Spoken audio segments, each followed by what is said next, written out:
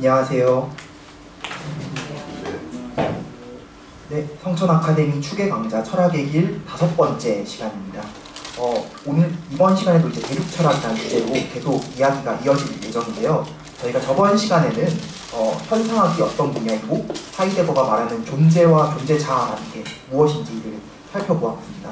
어, 하이데거의 비판점은 이 세계를 다 물화시켜서 사물로 파악하려는 그런 시도에 대해서 하이데거가 비판하려 한다는 게 저번 시간에 주된 내용이었던 것 같은데요. 오늘은 본격적으로 하이데거 철학을 둘러싼 여러 가지 논쟁과 이슈들을 다뤄보려고 합니다. 네, 뭐 오늘도 교수님 먼저 전반적인 내용에 대한 소개 부탁드립니다. 어, 2010년에 출간한 크로스오버 하이데거는 연세대 학술상 수상작으로 선정되었고 철학 학술지들과 교수 신문에서 좋은 평가를 받기도 했지만 출판 유통업체 부도로 생각에 남은 출판사가 책을 낸 지 1년 만에 문을 닫는 바람에 제 책도 함께 절판이 되었습니다.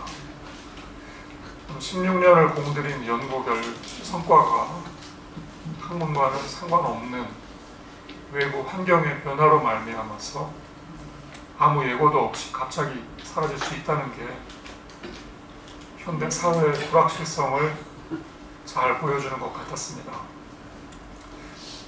저자라는 운전자가 막 주행을 시작한 지 얼마 되지 않아서 불의의 사고사를 당한 그런 느낌이었습니다. 그 지우인 공연출판사의 김영호 사장이 크로스오버 하이데커를 재출간해 보자고 제게 구원의 손길을 내밀었습니다. 저는 이 책의 내용을 주제로 국내외에서의 학술 토론과 그 서평들을 그 새로이 수록을 했고요. 또 기존 원고의 오류들을 수정해서 2021년에 수정 진보판을 출간하게 되었습니다. 바로 이 책인데 어, 그동안 여러 권의 책을 내었고 각 책들의 나름의 정성을 다했지만 아픈 손가락이었던 이 책을 세상에 다시 내보내는 저의 감회는 각별하기만 했습니다. 사유가의 사유는 역사성의 지평에서 사유되어야 합니다. 그런데 이 점을 역설한 하이데거의 사유가 하이데거라는 한 사람에서 시작해서 그 사람으로 끝나는 완결태로 사유되어서는 안 될 것입니다. 하이데거의 사유는 그에게 영향을 미친 과거의 전통에 연결되어 있고 그리고 그가 사유하는 현재 사태를 지향하고 있으며 그가 예견한 미래의 비전에 맞닿아 있습니다. 이처럼 과거의 전통, 현재의 사태, 미래의 비전이 녹아 있는 것이 하이데거의 사유이기 때문에 그를 사유하기 위해서 우리는 과거, 현재, 미래의 세 시제와 전통, 사태, 비전의 세 국면을 크로스오버 시켜야 합니다. 따라서 저의 연구는 하이데거라는 한 사유가에 국한한 종래 해석을 지향하고자 했습니다. 하이데거의 사유를 건너가기 위해서 제가 이 작품에서 밟았던 길의 이정표들을 돌아보면 다음과 같습니다. 길은 크게 네 단계로 가를 수 있습니다. 우선 일부 푸설에서 하이데거로 에서는 하이데거의 사유를 통시적으로 자리매김하기 위해서 지향성이라는 주제에 대한 현대 철학의 사유들을 짚어나갔습니다. 이 과정에서 저는 자연히 푸설의 현상학과 만나게 되었고 이어서 그의 계승자이자 비판자인 하이데거의 사유에 이르게 되었습니다. 지향성과 현상학의 본성에 대한 푸설과 하이데거의 차이를 바탕으로 하이데거 자신의 고유한 사유를 추적해 보았습니다. 이어지는 2부 하이데거와 위켄슈타인에서는 하이데거를 그와 동시대 사유가인 위켄슈타인과 만나게 했습니다. 현대 학문의 과학주의적 경향을 대변하는 영미 철학의 중심 담론인 수리 논리학과 언어 철학에 대해서 그들이 어떠한 공동 전선을 형성하였는지를 조망하고 그러면서 그들이 어떻게 이들 담론들에 대해서 자신들의 사유를 다듬어내었고 어떻게 서로 다른 길을 걸었는지를 더듬어 보았습니다. 어, 3부 도구, 진리, 과학에서는 하이데거 사유의 근본 얼개를 이루는 존재와 시간이라는 작품과 그의 후기 작품들을 중심으로 도구의 사용에 대한 하이데거의 현상학적인 성찰과 진리에 대한 존재론적인 해석을 각각 살펴보았습니다. 이 과정에서 하이데거가 열어 밝힌 존재 양식의 다차원성을 구체화하고 그의 진리론이 여타의 진리론들과 층위를 달리하고 있음을 부각하였습니다. 이어지는 4부 기술 철학에서는 현대 서구 기술 문명의 역사적 뿌리와 문제점에 대한 하이데거의 사유를 그의 논문 기술에 대한 물음 을 돕게 하면서 차근차근 따라가 보았습니다. 이로써 그의 존재론적인 사유가 서구의 지성사적인 전통에 대한 해석을 바탕으로 현재 기술 문명에 초점 잡혀 있으며 이로부터 미래에 대한 비전을 얘기하고 있음을 논하였습니다. 저의 책 크로스오버 하이데거는 기술 문명에 와서 정점에 이른 존재 망각과 허무주의의 위기로부터 전향을 지향하는 것으로 대단원에 이르게 됩니다. 어, 오부인 토론에서는 이 책의 내용에 대한 학술 토론을 수록했는데 이 중 상당수는 2021년에 수정 증보판에 처음으로 선보이는 것들입니다. 그리고 부록 역시 수정 증보판에 새로이 추가된 것으로 저의 책에 대한 서평과 저의 담론이 전개됩니다. 오부와 부록을 통해서 이 책에 대한 치열한 학술 토론의 향연으로 독자들을 초, 초대합니다. 20세기 철학의 언어적인 전해는 영미 철학뿐 아니라 대륙 철학에서도 파급 효과가 컸습니다. 하이데거도 예외는 아니어서 그 역시 언어에 대한 중요한 성찰을 남겼습니다. 언어 철학 분야에서 하이데거가 기여한 바는 언어가 세계를 지시함으로써 의미를 얻는다는 것을 골자로 하는 지시적 의미론에 대한 비판과 보완에서 찾을 수 있습니다. 20세기를 풍미했던 지시적 의미론은 언어와 세계의 대응을 전제로 하고 있는데 그 대응은 언어의 구성 요소가 세계의 구성 요소에 대응하는 일대일 대응의 관계일 수 없습니다. 언어와 세계의 구성 요소는 각 요소가 속해 있는 언어와 세계라는 집합체에 유기적으로 얽혀 있기 때문입니다. 우리가 언어로 세계를 지시할 때 우리는 세계의 일정한 측면이나 양상을 일정한 관점에서 드러내고자 합니다. 그것이 서술문이든 의문문이든 혹은 부정문이든 모든 문장은 본질적으로 폭격입니다. 폭격이라는 말은 무엇을 불러낸다는 뜻이죠. 문장을 구성하는 낱말 하나하나가 세계의 어떤 측면과 관점을 불러내어 펼치는 폭격 코드이기 때문입니다.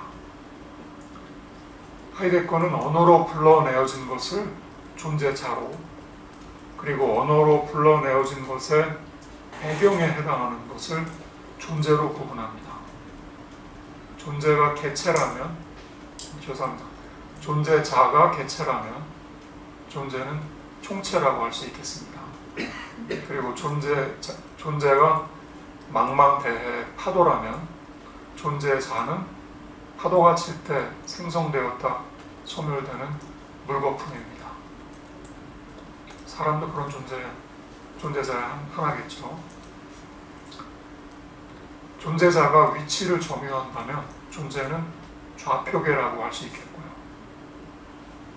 불러내어진 전경이 그 배경을 존재로 하고 있듯이 존재자는 존재를 존재로 하고 있습니다.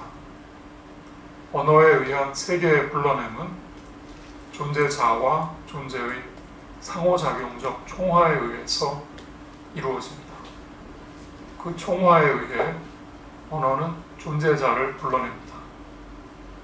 언어의 의미는 언어 사용에 의한 이러한 존재 자의 불러내면서 찾아집니다.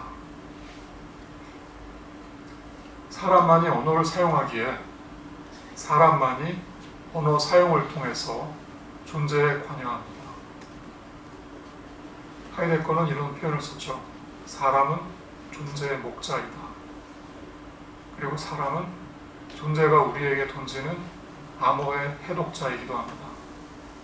이런 맥락에서 그는 이론 과학에서처럼 언어를 정의, 즉 definition을 가지고 그 정의에서 사용하는 것을 못마땅해 합니다. 이게 이제 하이데거가 기존의 학자들과 불화를 일으키게 되는 근본 그 동인인데요.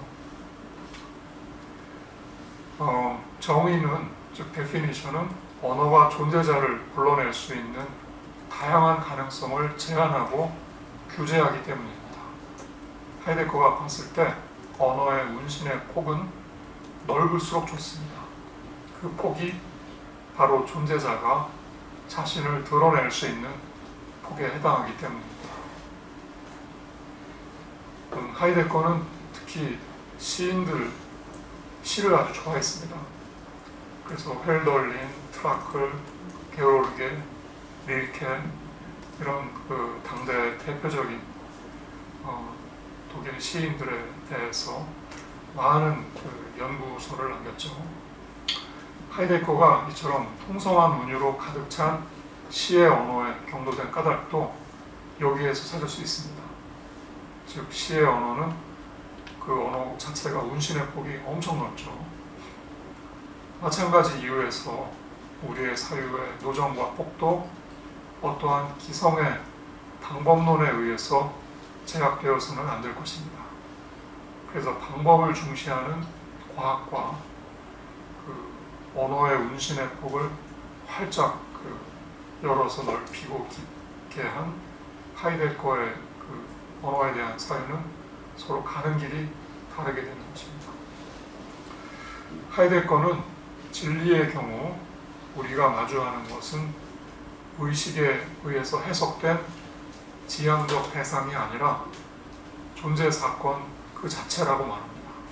이것도 이제 그의 스승인 후설과 하이데거가 갈라서게 되는 중요한 그 갈림길입니다. 즉, 후설의 경우에는 의식에 의해 해석된 지향적 대상과 우리가 마주한다고 보았는데 하이데거는 그런 매개 없이 존재 사건 그 자체와 우리가 마주한다고 생각을 했죠. 요컨대 우리는 이 경우에 진실과 마주하는 것입니다. 진실이라는 표현은 우리 말에서 대체로 진리와 동치이거나 서로 호환 가능한 개념이지만 우리는 이 두 개념, 즉 진, 진리와 진실의 언어상의 구별에 주목하고자 합니다. 축자적으로 풀이하자면 진리는 이치, 진리라는 말에 이치의 이자가 새겨져 들어가 있지 않습니까? 그리고 진실은 사실. 여러분, 그 진실이라는 말의 실자가 사실이라는 말의 실자와 같은 글자 아닙니까? 즉 진실이라는 말은 그 안에 사실의 그 실이 이미 새겨 넣어져 있습니다. 이처럼 진리는 이치에 그리고 진실은 사실 혹은 사태에 각각 참이 귀속되어 있습니다. 즉 리를 형용하는 게 그 진이고요. 실을 형용하는 게 역시 진 아닙니까? 그래서 한편에는 진리, 한편에는 진실이라는 표현이 성립을 하는데 그렇다면 참인 존재 사건은 진실입니다. 진실로서의 진리의 장소는 언어가 아니라 존재 사건인 것입니다. 언어가 진실을 담을 수는 있지만 이로부터 언어가 진리의 장소임이 연역되는 것은 아닙니다. 진실로서의 진리와의 만남은 반드시 언어를 매개로 해서만 이루어지는 것도 아닙니다. 그래서 오늘은 제가 여러분과 평소에 그 감상하던 음악 에 덧붙여서 고어의 그림도 감상할 기회를 갖겠습니다. 하이데커는 고어의 그림을 굉장히 좋아했고 그의 그림에서 그 진실이 열어 밝혀진다고 믿었거든요. 그래서 예술 작품에 대한 하이데커의 그 이해를 우리가 고어의 그림을 함께 감상하면서 또 헤아릴 그럴 계기를 마련해 예정입니다. 여튼 진실로서의 진리와의 만남은 반드시 언어를 매개로 해서만 이루어진 것은 아니고요. 문제는 우리의 열린 마음과 태도에 달려 있습니다. 진실로서의 진리는 먼 곳에 있지 않습니다. 누구에게나 진실의 편린들이 기억 어딘가에 묻혀 있겠지만 세파에 매몰되어 본래성을 망각한 사람들에게 진실의 문은 굳게 잠겨 있습니다. 위켄슈타인이 철학적 탐구에서 이런 말을 했죠. 모든 것이 다 이미 드러나 있다. 불교의 그 설법을 연상케 하는 표현인데요. 문제는 모든 것이 감춰져 있어서 우리가 알지 못하는 게 아니라 다 드러나 있는데도 우리가 눈이 멀어서 귀가 멀어서 그래서 보지 못하고 듣지 못하는 것 이게 문제인 겁니다. 그래서 어, 눈투라고 부르는 소리에 그 전창을 이번 학기에 그 시작을 여는 강좌에서 아그가 우리에게 들려주었죠. 여하튼 진실의 문이 굳게 잠겨져 있는 그런 사람들에게 진실은 가깝지만 가장 먼 곳에 감춰져 있습니다. 사실 엄밀히 말하자면 진실의 문이 잠겨져 있는 게 아니라 본인의 마음이 잠겨져 있고 본인의 눈이 닫혀 있는 것 뿐이죠. 그 문을 열 수 있는 마음의 눈을 가진 사람만이 진실을 자신의 것으로 고유화합니다. 여러분이 고유화라는 표현에 잠시 주목할 필요가 있습니다. 하이데거 철학의 줄거리를 이루는 존재 사건이라는 표현을 보면 독일어 원문이 Ereignis이죠. 뭐 여러분이 독일어를 모른다 해도 그 존재 사건이라는 말의 스펠링에 잠시 주목을 해보시기 바랍니다. 그 다음에 본래성이라는 개념도 하이데거가 아주 중시하는 개념인데 Eigentlichkeit가 이제 독일어 원문인데 이 존재 사건과 본래성이라는 개념에 eigen이라는 어근이 서로 공유되어 있습니다. 이 아이겐이라는 어근은 진실의 고유화 과정을 지칭하는 고유소입니다.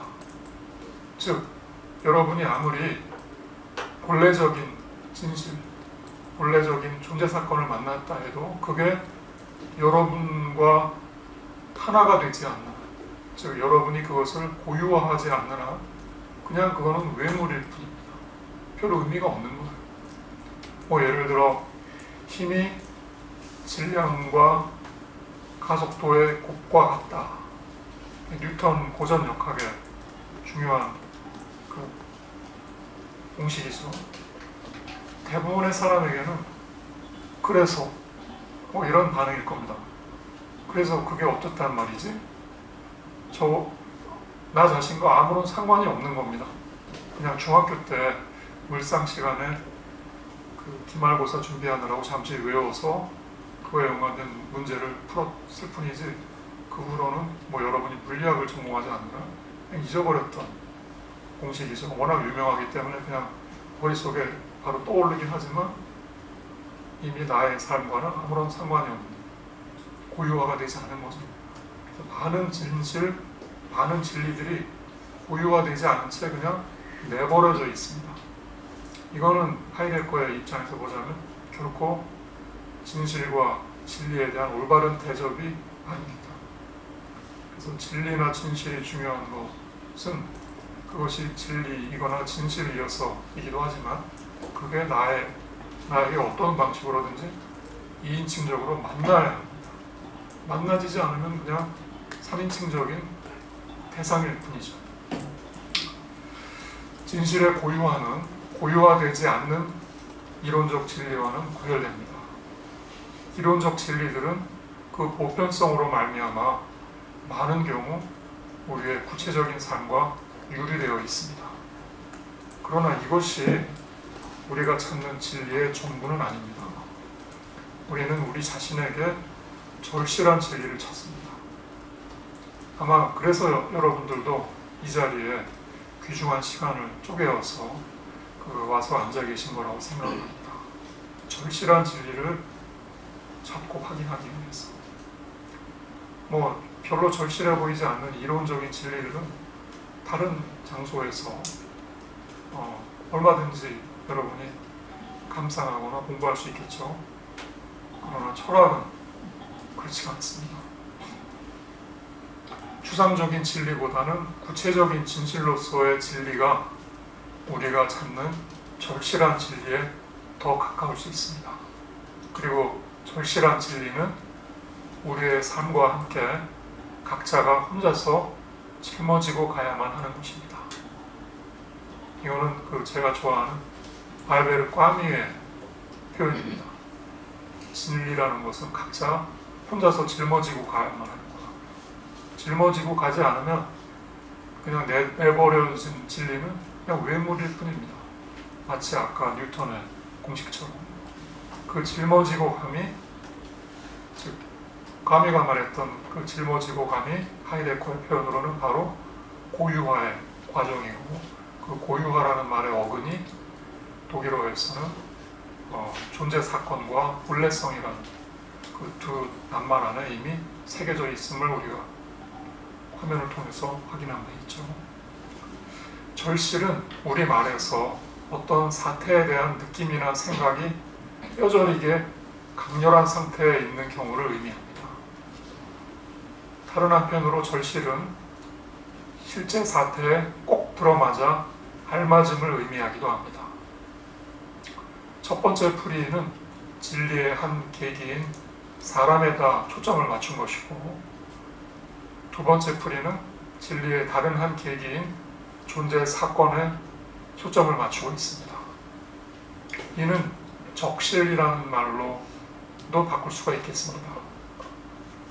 절실에 대한 두 풀이로부터 우리는 어떤 사태가 틀림없이 그러하다는 의미를 지닌 확실과 또 다른 한자인 적실이라는 낱말에 이르게 됩니다. 절실한 사태는 그만큼 확실한 사태입니다. 이처럼 진실, 절실, 적실, 확실 이런 용어들은 우리 말에서 서로 일맥상통합니다. 지금 이승종 선생이 어, 뭘 다루고 있는 거지? 어, 의아해하면 이런 걸 한번 생각해 보죠. 모든 사람은 죽는다. 뭐 다 알죠. 그런데 그런데 여러분 여러분의 사랑하는 그 절친한 사람이 갑자기 세상을 떠났다고 생각을 해보세요. 이거는 그냥 모든 사람 중에 한 사람이 죽은 게 아닙니다. 나의 분신이 그 다음에 아직도 같이 갈 길이 창창한 사람이 갑자기 세상을 떠난 겁니다. 그가 떠난 만큼 남아 있는 나의 삶도 그의 빈자리만큼 깎여 나가는 거죠. 엄청나게 고통스러운 일입니다. 그 다음에 어떤 경우에는 떠나간 그의 빈자리를 그 남아있는 내가 평생을 짊어지고 가야 할 그런 운명인 경우도 있습니다. 이게 제가 말하는 절실한 진리입니다. 모든 사람은 죽는다. 그래. 3단 논법에 나오는 말이죠. 그 논리학 첫 시간에 모든 사람은 죽는다. 소크라테스는 사람이다. 따라서 소크라테스도 죽는다. 물리학을 수강한 분이라면 누구나 첫 시간에 교수님이 그 소크라테스를 빌어서 3단 논법을 풀이한 거를 그 기억하실 수 있습니다. 어, 제가 아주 좋아하는 톨스토이의 명편 중에 이반 일리치의 죽음이라는 빼어난 작품이 있습니다. 그 책에, 아, 그 작품에 맨 앞머리에 그 예가 나옵니다. 모든 사람은 죽는다. 소크라테스는 사람이다. 그래서 소크라테스는 죽는다. 어, 젊은 검사였나요? 하여튼 법조인인 이반 일리치. 어, 그래서 쉽게 넘겨버리고 탄탄대로를 걷다가 갑자기 찾아온 그 불치의 병에 서서히 죽어가는 과정을 담담한 필치로 그잘 형상화한 작품이 그 이반 일리치의 죽음이라는 그 톨스토이의 명작인데 여하튼 그냥 있던 명제 즉 모든 사람은 죽는다. 소크라테스도 사람이니까 그도 죽겠지. 나는? 난 아직 멀었어. 어쩌면 영영 안 올지도 몰라. 나의 죽음. 이렇게 안이하게 생각을 하는 그 순간에 바로 그 이반 일리치가 그 불치의 병을 안게 됩니다. 참 사람의 아이러니인데 여하튼 그러면 모든 사람은 죽는다라는 명제가 자기 앞에 임박하는 순간에 그 어떠한 확실성보다도 더욱 절실하게 실존적으로 다가오겠죠. 여하튼 그 우리 말에서의 진리와 연관되는 용어들을 서로 일맥상통하다는 걸 살펴봤고요. 이들은 모두 고유화되는 진리이자 사태입니다. 이 낱말들의 공통으로 새겨진 실이라는 어근은 즉 진실, 절실, 적실, 확실에 다 실자가 들어있지 않습니까? 이들이 확보하는 진리의 자리가 사태 자체임을 지칭하는 사태소입니다. 진실되고 절실하고 적실하고 확실한 진리는 우리와 무관한 진리가 아닙니다. 우리와 무관한 것으로 우리의 삶으로부터 외화되는 진리는 그로 말미암아 그 진실성, 절실성, 적실성, 확실성을 다 잃게 되고 맙니다. 그러한 진리는 비록 거짓은 아니지만 사실상 있으나 마나한 진리인 거죠. 아까 뉴턴의 공식처럼 반면 진실되고 절실하고 적실하고 확실한 진리는 언제나 고유와 작업을 통해 우리와 일체를 이루는 진리 사태를 말합니다. 그래서 이러한 진리는 있으나 마나한 정태적인 진리와는 달리 늘 우리의 삶에서 살아 숨쉬며 우리의 삶과 우리의 자신을 근거 짓는 역동적인 진리입니다. 모든 사람은 죽고 그 모든 사람에 나도 포함되어 있다는 이 진리, 내가 지금 살아있다는 것과 그 함께 동거하고 있죠. 우리의 삶 안에서 아주 역동적인 방식으로 진리를 동일성으로 보고 거짓을 차이성으로 보았던 고대 그리스인들의 진리관에서 우리는 고유화 과정을 통해서 인간과 동일체를 이루는 절실한 존재 사건을 진리로 보는 그리스인들의 사태로 열려진 태도를 엿볼 수 있습니다. 즉, 그 그리스인들은 절실한 진리 사태에 대해서 굉장히 그 깊이 생각해 본 사람들입니다. 그 철학 작품들에서도 그런 흔적들을 찾을 수 있지만 어, 제가 특히 강조해서 추천드리는 것은 그리스의 비극들. 그 비극 작품들 하나하나에 어, 그런 그리스인들의 절실한 그 진리 체험이 잘 형상화되어 있습니다.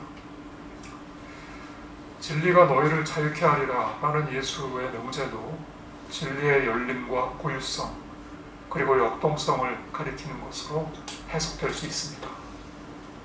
진리가 너희를 자유케 하리라.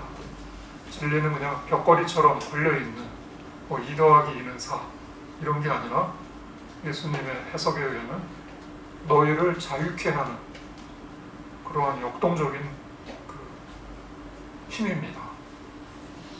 저는 2인칭 철학의 확장과 심화에 도움이 되는 개념과 영감을 하이데거가 사유한 존재 사건의 고유화에서 얻을 수 있었습니다. 그래서 하이데거를 독해하면서 활용해본 크로스오버와 그 결과물인 분석적 해석학도 제게는 큰 수학이었고요.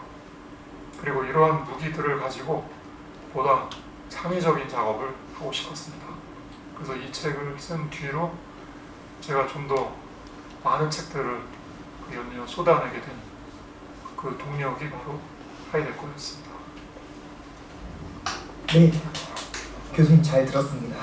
오늘은 그러니까 언어의 의미와 진리라는 두 가지 키워드를 가지고서 하이데거는 설명해 주셨네요. 기존 언어 철학이 소위 말해서 지시적 의미론이라는 걸 바탕으로 바깥에 있는 대상을 지시함으로써 언어를 정확하게 정의하려고 했던 반면에 하이데거는 오히려 그 어, 불러내어진 존재 배경에 있는 그 존재를 더 강조를 했고 운신의 폭이 넓은 시적 언어에 더 초점을 맞췄다. 그리고 진리라는 것도 단순히 뭐 객관적인 뉴턴 역학의 그런 공식이 아니라 나에게 고유화된 절실한 것이야말로 진리일 수 있다라고 강조를 해주셨네요. 그러니까 언어 철학의 관점에서 하이데거를 설명해 주셨는데 오늘 그래서 그런 문제들을 좀 교수님과 나누고 싶거든요. 일단 제 질문을 드리기 전에 저번 시간 끝에 저희 지금 카메라로 찍고 계신 이종원 선생님께서 하이데거의 현존재 개념에 대해서 질문을 주셨는데 이것부터 먼저 제가 대신 소개를 해드리고 그 넘어가려고 하거든요.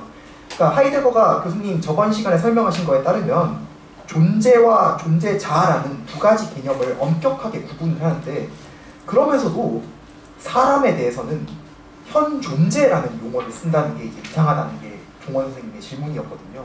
그러니까 왜 굳이 사람을 현 존재라고 표현하는가? 이게 존재 자 아닌가? 이거 어폐가 있는 말이 아닌가라고 하셨는데 여기에 대해서 어떻게 생각하십니까? 궁금합니다. 네, 여러분 그 앞에 나와 있는 두 사람이 그 우리의 강의를 끌어가고 있다고 생각을 하신다면 이건 엄청난 착각입니다. 우리 둘만이 아닙니다. 그 질문을 던진 종원님도 현재 성균관대 철학과에서 철학을 공부하고 있는 젊은 철학도이고요. 또 저 뒤편에 앉아서 늘 그 수업을 물심양면으로 그 보살피고 계신 윤수민 선생님도 이화여대 철학과 학부와 대학원에서 철학을 전공하신 불교 철학자이십니다.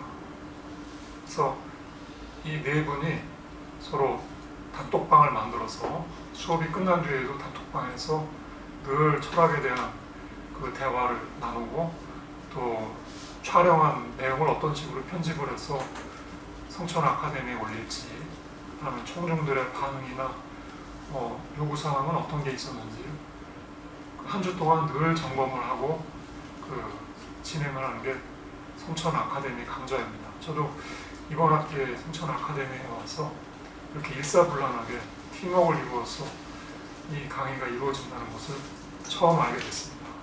사실 대학에서도 이만한 정성은 보통은 잘 들이지 않거든요.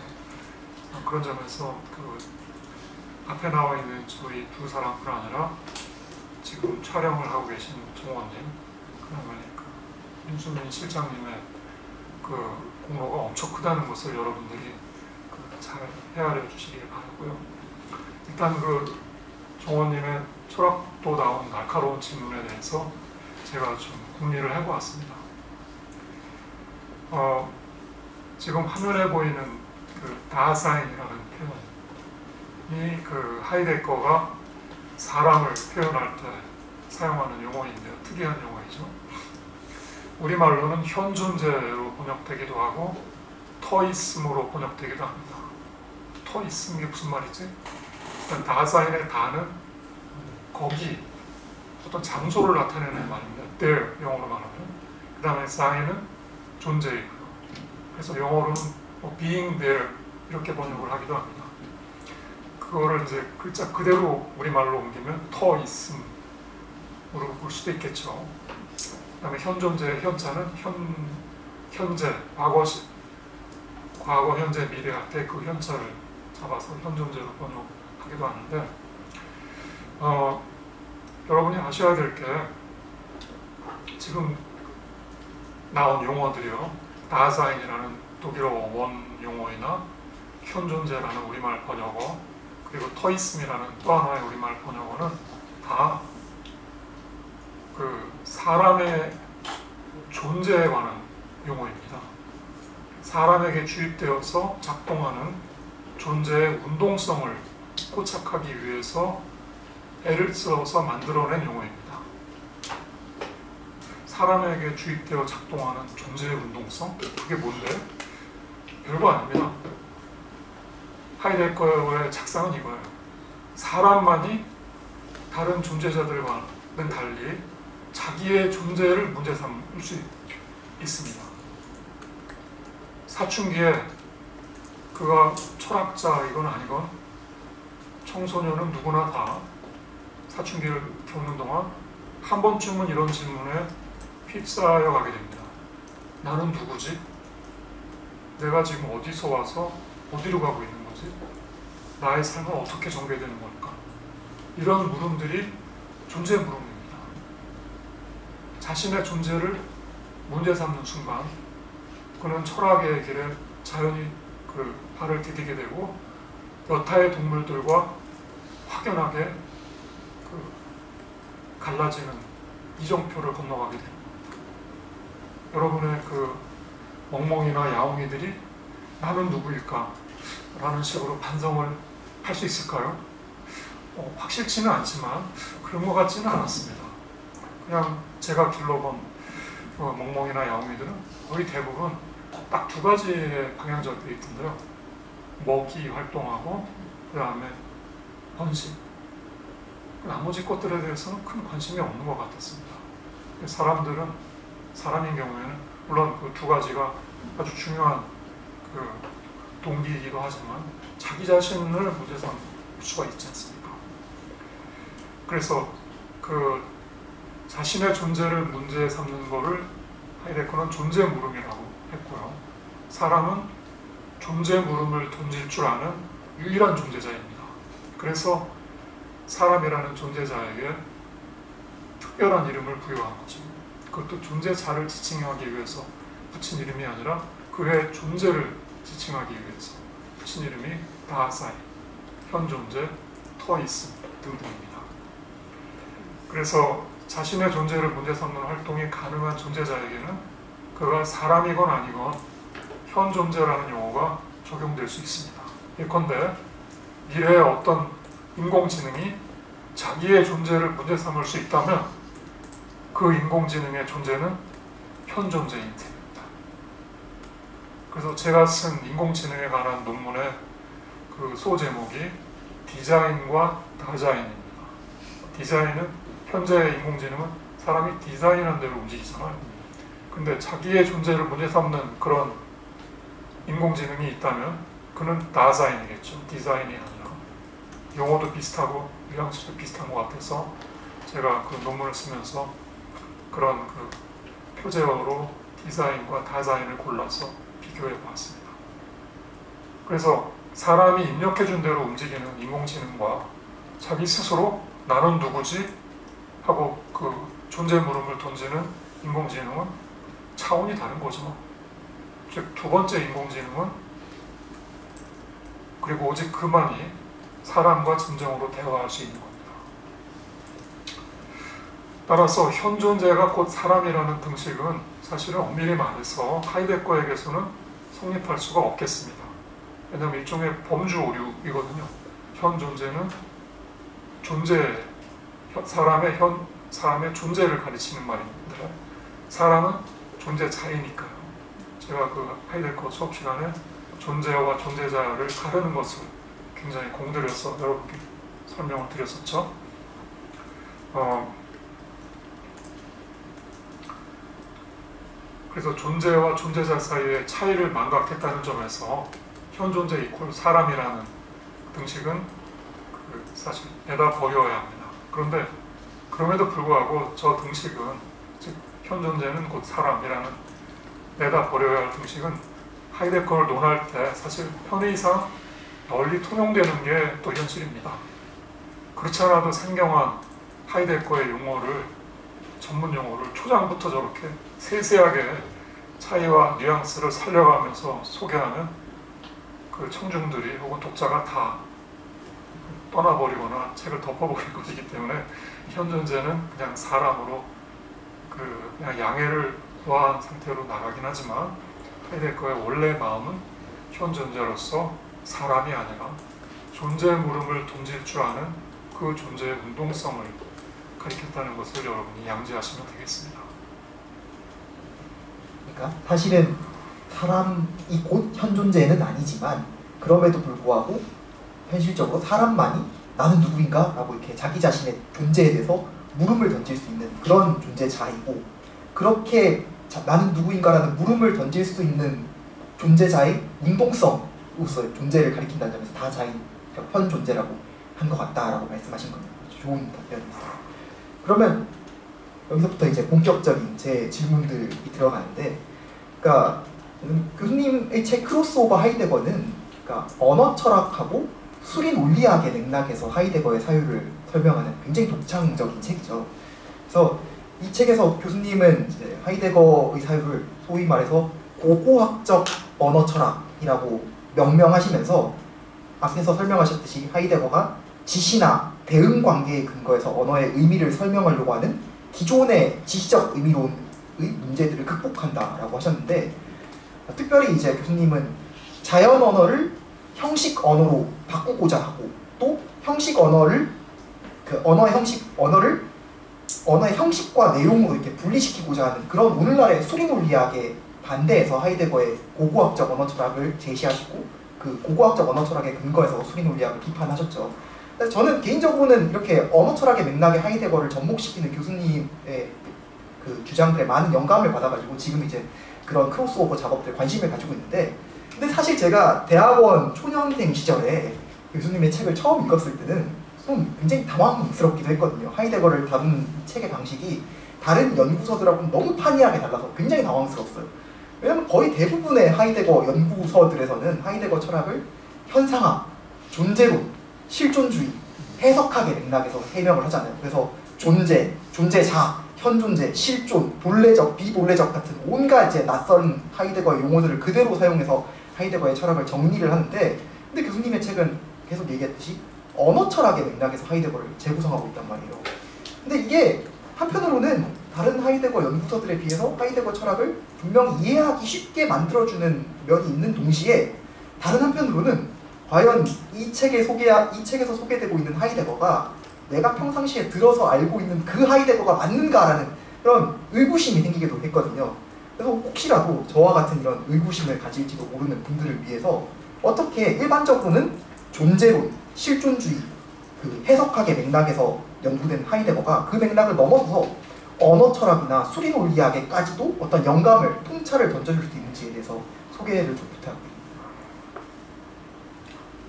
어, 제가 지향하는 바는 하이데거는 이렇게 말했다. 이런 게 아닙니다. 하이데거 말하사대. 이게 아닙니다.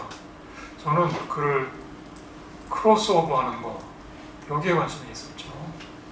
오늘 잠시 후에 여러분하고 감상할 그 막스 리히터라는 현대 작곡가가 비발디의 사계를 재작곡해서 새로운 사계를 선보였듯이 저는 그런 작업을 하고 싶은 겁니다.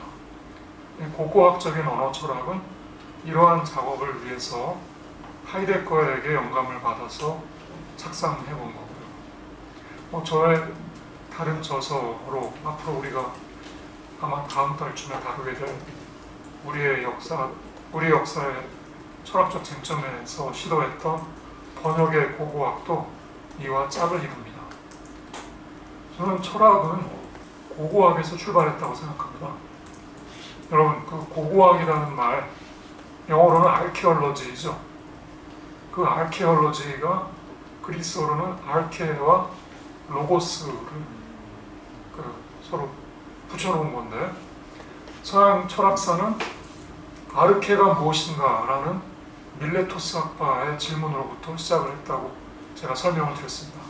그때는 이제 원질 뭐 이런 걸로 제가 번역을 했었는데 여하튼 세상을 그 구성하는 본질이 뭐냐 하는 게 그 밀레토스 학파가 지녔던 첫 번째 철학적 관심인데 저는 그 그런 의미에서 철학은 아르케에 관한 학문이라는 점에서 아르케올로지 고고학입니다. 그런데 저는 그 고고학이라는 용어에 새겨진 아르케라는 것을 고정불변의 것으로 보는 본질주의적인 접근을 지향하고 그걸 현재로 호출해서 차이나는 반복으로 재현하는 것.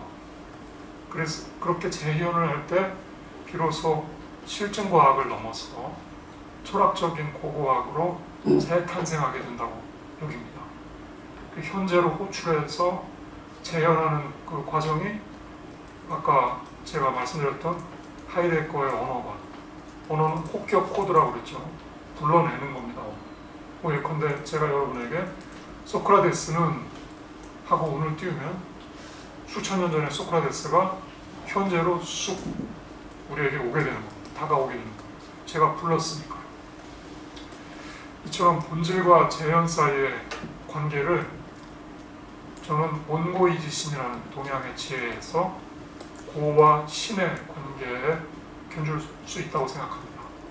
철학적인 고고학을 이루는 고고학적인 언어 철학과 번역의 고고학은 유물 중에서도 특히 언어에 주목한다는 점에서 소재 선택에 있어서도 실증과학으로서의 고고학하고 구별되는 면이 있습니다. 그래서 그 제가 말하는 고고학은 실증과학으로서 우리가 역사학과에서 배우는 그런 고고학이 아니라 철학적인 그 본질을 캠으로 들어가는 이러한 과정이라는 것을 잘 유념해 주실 필요가 있겠습니다. 어, 제가 지금 그 유석 씨에게 답변하는 과정에서 그 우리가 오늘 감상할 그 작품이 호출되었습니다. 막스 리히터의 그 재작곡, 다시 작곡을 한 비발디의 사계가 그 호출이 되었는데요. 저는 오늘 여러분하고 그 비발디의 사계에 대한 막스 리히터의 재작곡을 어, 하이데커가 좋아했던 그 반고호의 작품 중에서 어, 씨 뿌리는 사람들이라는 작품을 호출을 해서 그 작품과 그 막스 히터의 음악을 콜라주 형태로 감상을 해볼까 합니다. 그래서 언어에서뿐 아니라 그 미술 작품과 음악 작품에서도 어떻게 앞으로 우리가 토론하게 될 진리가 그 드러나는지에 대한 실제 체험을 여러분하고 하고 싶은데요. 자, 그럼 일단 그 고흐의 그림을 잠시 감상을 해볼까요, 먼저? 음.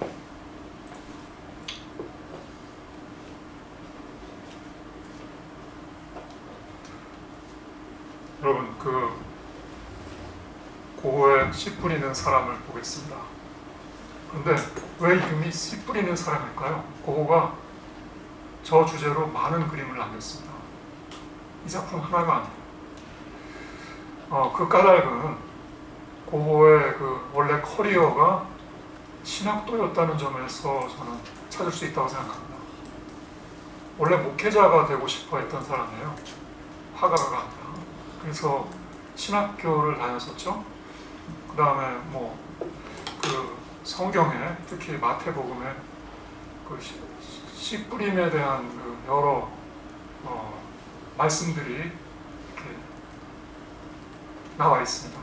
저는 고흐가 이 그림을 그릴 때 어, 물론 그가 있던 어, 마을에 씨 뿌리는 광경을 보고서 그렸을 거라고도 생각을 하지만 분명히 그 마음속에 어딘 한 구석에서는 그가 지녔던 어떤 그 기독교적인 오리엔테이션이 작동을 하는 거라고 생각을 하지 않을 수가 없습니다.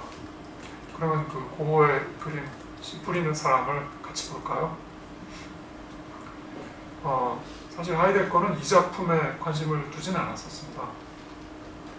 고흐가 그린 다른 작품, 뭐 예를 들어서 구두, 구두 한 켤레에 대해서 아주 그 탁월한 그런 그 글을 남겼었죠. 예술 작품의 근원이란 뭐 그, 그 어, 대표적인 글에 그 등장하기도 하는데 저는 어, 하이데거가 별로 그 자기의 텍스트에서 주목하지 않았던 이 씨 뿌리는 사람을 오늘 여러분하고 감상하고 싶은데요. 우선 그림의 맨 상단에는 노란 태양이 장렬하고 있고 그 바로 아래에는 아직 배지 않은 밀들이 있습니다. 그 다음에 이 그림의 전면의 대부분은 갈아엎은 밭들이 차지하고 있는데 그 위로 농부가 씨를 뿌리면서 걸어가고 있네요. 자, 근데 여러분 이 작품에 아주 중요한 또 코드가 하나 들어 있습니다. 까마귀 몇 마리가 밭 위를 낮게 날고 있습니다. 보이시죠? 까마귀들. 까마귀는 보통 불길함의 전조 아닙니까? 서양에서는 길조로 본다고. 아, 근데 일본은 길조죠. 근데 저는 그렇게 보지 않았습니다. 어, 그, 그 까닭은 이제 제가 음악을 감상하면서 그 여러분에게 이제 말씀을 드릴 텐데 여하튼 이 작품에 관한 한 저는 그 까마귀는 불길함으로 그 이해하고 싶습니다. 물론 이해는 자유이기 때문에 반대로 보셔도 좋습니다. 그런데 근데 이제 그 어떤 불길함의 그 아이콘들이 까마귀 말고도 몇 개 더 있습니다. 이 작품 안에. 그 다음에 이제 왼쪽 구석으로는 멀리 농가와 나무도 보이죠? 왼쪽에 맨 위쪽에. 그 다음에 고흐는 이를 수없이 그어된 획으로 그려내고 있습니다. 다 그냥 획으로다가 이렇게 붓질을 했죠. 그 밀들은 수직의 획으로 가지런히 그어져 있고 불타는 듯 이글대는 햇살 무늬는 노랑과 주황 획으로 하늘의 방사형으로 퍼져나가게끔 그렇게 붓질을 했습니다. 이렇게 여러분이 잘 새겨보시고요.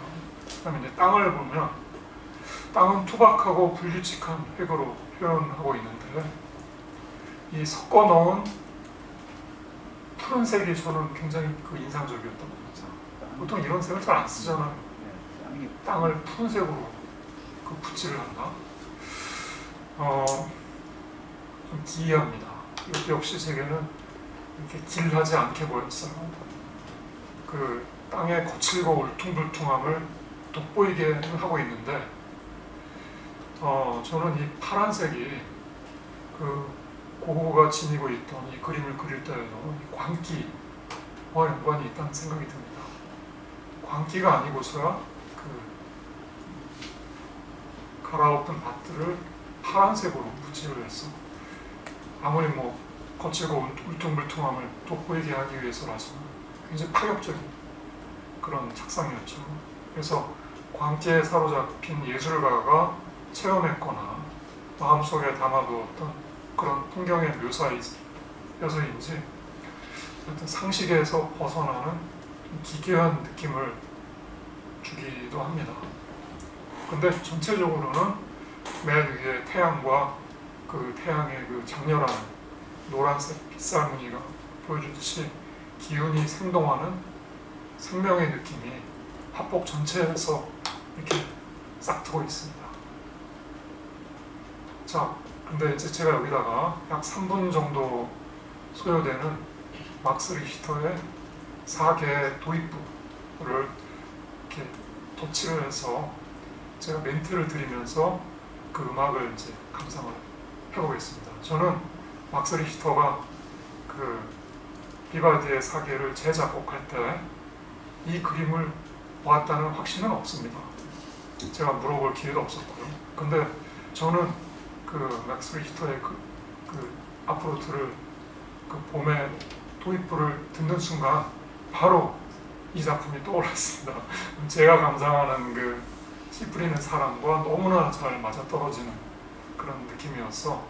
하여튼 저의 그 어떤 음악과 그림을 통해서 어떤 깨달음을 여러분하고 지금 공유해 보고 싶습니다. 구동해 주실까요?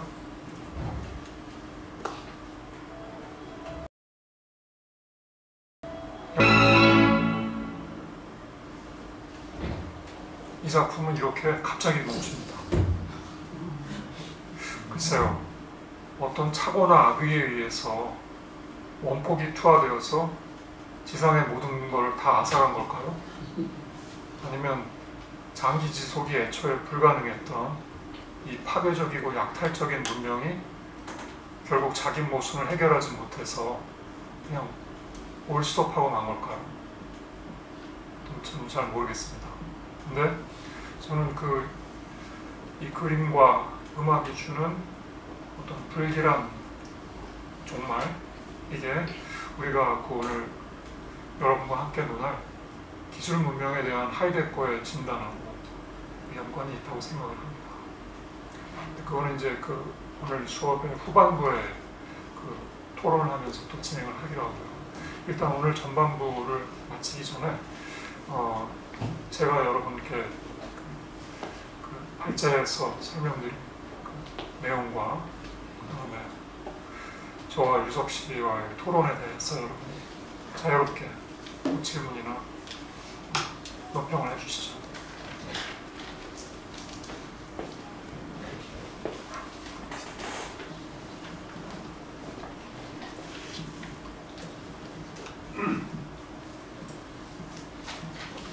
네, 박덕성 선생님. 이 다다윈에 대해서 설명을 많이 드렸는데 원래는 저 현 존재로 이야기를 갖다 쭉한 걸 알고 있는데 프리즘이라는 거는 최근에 번역에서 나온 겁니까? 네. 그거는 다라는 거를 갖다가 좀 의미를 더 강조했는가요? 안 그러면 원래 하이데거에서 다자인의 의미가 그 글자대로 다라는 그 터하고 연관이 되기 때문에 그런 겁니까? 두 개 다 가진 거예요. 일단 그 서양 철학의 전통에서 그 존재에 관한 그 담론들은 어 기독교의 영향이어서일까요? 대체로 초월적인 지평에서 논의되었습니다. 그래서 하이데거는 서양의 그 철학을 존재 신학이라고도. 존재자나 존재의 문제를 어떤 초월적인 신학적인 지평에서 다루었다는 점에서 그런 용어를 사용을 하는데 다자인이라는 표현의 그 접두사로 붙은 다라는 것은 초월성을 깨는 그런 역할을 합니다. 즉 존재라는 것은 어떤 초월적 지평에 존재하는 신학적인 그런 개념이 아니라 사람이 살고 있는 바로 이 터, 그 다음에 시간으로 말하자면 현재, 그래서 현존재에서 현자가 붙은 거죠. 즉 바로 지금 여기에서 일어나는 사건에 그 초점이 맞춰져 있다는 것을 강조하기 위한 그런 장치라고 저는 해석을 합니다. 바로 지금 여기라는 게 이제 다라는 의미로 보면 된단 말이죠. 근데 일단 이렇게 시간과 공간이 그 같은 의미로 좀 들어가 있는 거 아닙니까? 그걸 이제 다라 다를 붙여서 이제 다자인이라고 이렇게 그렇게 한 거로 좀 들리는데요. 맞습니다. 맞습니까? 그러면 이- 이게 이제 인간이라는 거 아닙니까? 지금 막 금방 말씀드린 거. 인간의 존재. 그러니까 인간의 존재. 그러니까 자연대는 이제 각 개별적인 인간 자, 인간 자라 그럴까 존재자 존재자라고 하면 되지만 다자에는 존재라는 거죠. 그 존재에 시간과 공간의 개념이 들어있다는 거예요. 그래서 이게 좀 애매한 부분이 좀 있는 것 같아서 시간과 공간이 들어있다면은 이걸 순간적인 어떤 의미로 좀 느낌이 올 수도 있거든. 순간. 장소라는 거는 계속되는 거고 시간이라는 건 이거는 순간 순간이 아니고 영속된 시간과 영속된 장소 그두 가지 개념이 같은 게라면은 그거는 자연대가 더 가깝다는 느낌이 들고 자연이라면은 그냥 딱 순간 이라는 느낌이 더 강한 것 같아서 어, 저는 반대로 생각을 합니다. 반대로. 네. 즉 하이데거가 보려고 했던 것은 어, 지금 여기라는 하나의 단면, 시공간의 단면이 아니라 지금 여기를 우리가 살아가고 있지만 그 지금 여기에 해당하는 것이 어떻게 해서 왔는가 그 내력을 보는 거, 흐름을 보는 게 중요한 거 아닙니까? 저는 철학이라는 것은 주어진 것을 보면서 주어진 것의 흐름을 역시 볼 줄 알아야 된다고 생각합니다. 그래서 시간이라는 의미에서의 현재가 중요한 게 아니라 시간의 어떤 존재적인 측면, 그걸 하이데크는 시간성이라는 표현으로 사용을 하는데, 혹은 우리가 수업 시간에 살펴보았던 여군이라는 개념, 역사로서의 시간 이런 것을 이제 하이데크는 좀 더 그 자세히 들여다보려고 했었죠. 지금이 중요하지만 지금도 시간의 흐름에 시제의 한 단면에 불과하지 않습니까? 그러니까 지금이라는 게 시간의 단면으로 볼 수도 있고 전혀 시간과 관계 없는 거로도 있고 시간과 관계 없는 건 아니죠.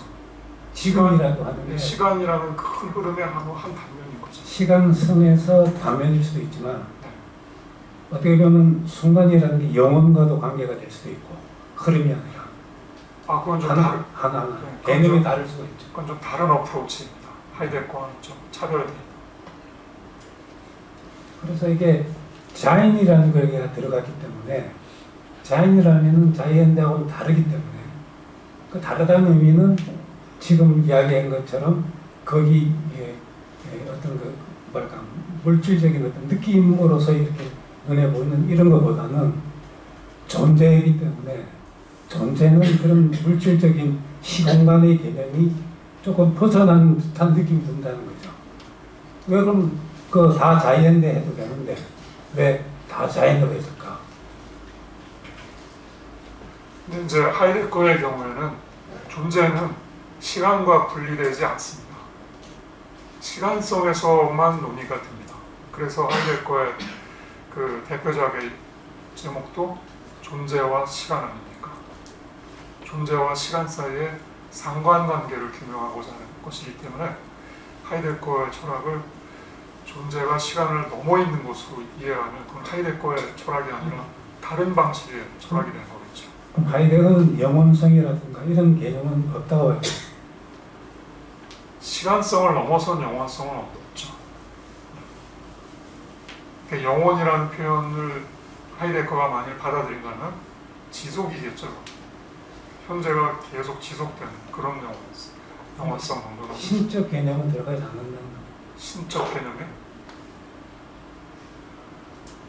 아, 하이- 존재란 뭔가 좀 신적 개념 같은 게 들어가 있는 게 아닌가 하는 느낌이 오거든요.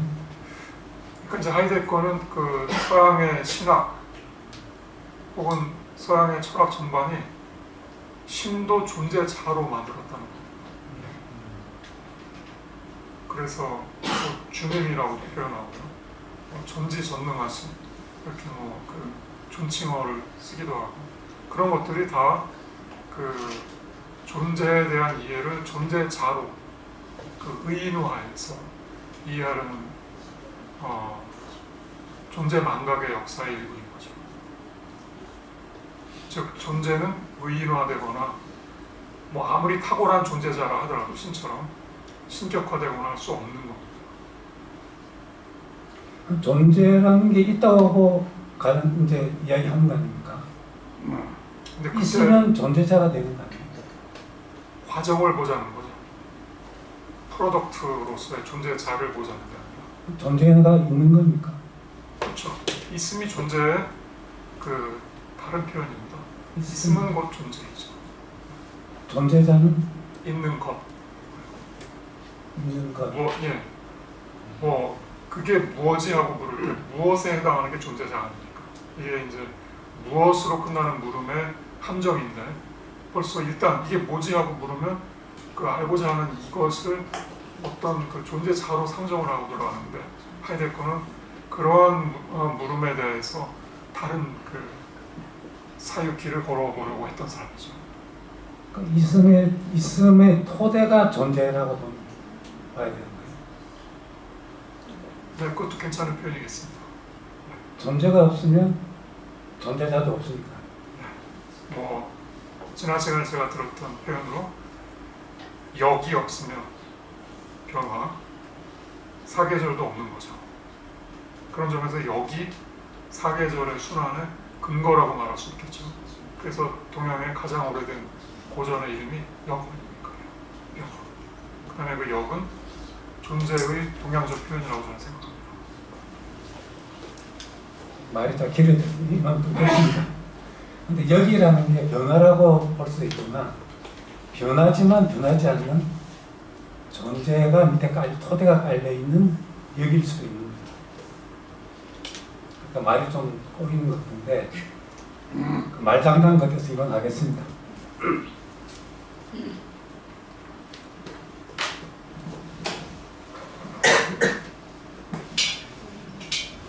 저기 어,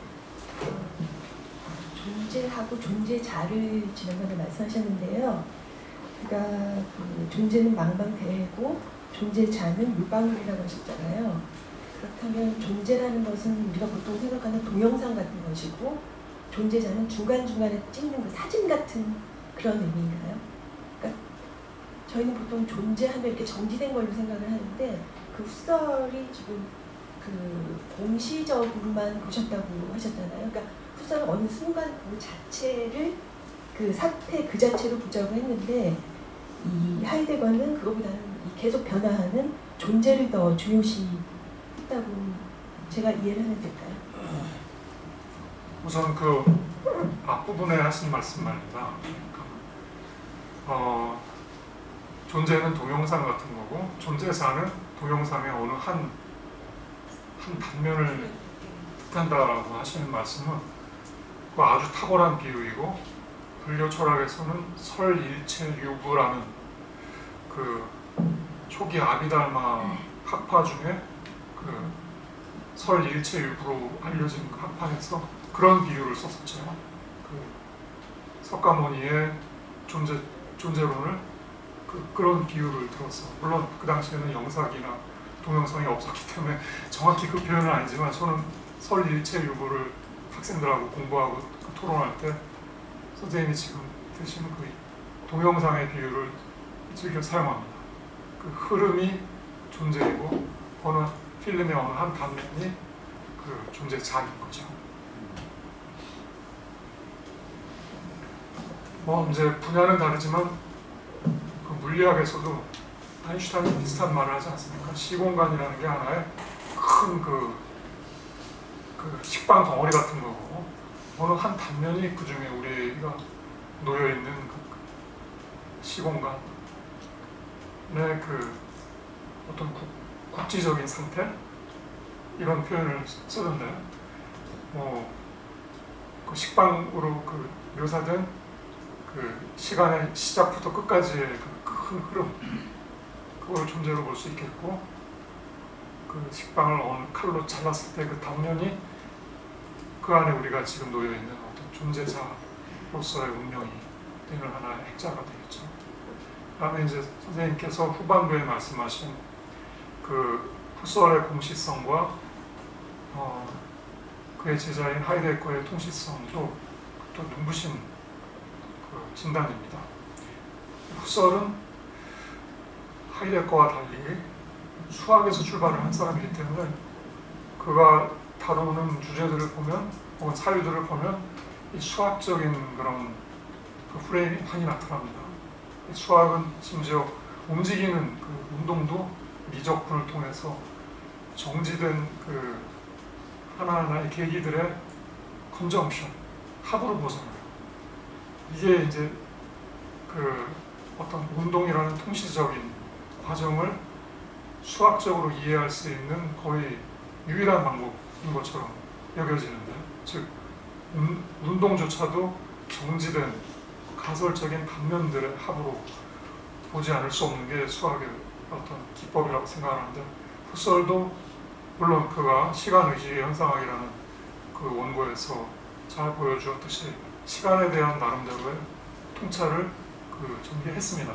근데 그 통찰조차도 아주 수학적인 방식으로 즉 공시적인 방식으로 그 이루어지고 있다는 게 좀 아쉬움이죠. 그 다음에 그 유고를 편집한 사람이 또 하이데거이기도 합니다. 시간의 지의 현상학은 헛설이 썼고 하이데거의 편집을 통해서 세상에 선보이게 된 건데 그래서 뭐 어떤 학자들은 어, 하이데거가 헛설의 시간의식의 현상을 통해서 그 시간에 대한 자기 나름의 사유를 개척할 수 있었다라는 식으로 얘기를 하기도 하는데 뭐 저는 특히 그렇게 보진 않습니다. 시간에 대한 접근법 자체가 헛설과 하이데거는 너무나도 달랐고 저는 하이데거의 어떤 통시적인 어프로치가 시간에 대한 보다 더 본래적인 어프로치라고 감히 평가를 해봅니다. 감사합니다. 네, 그러면 여러분 15분 쉬었다가 후반부를 다시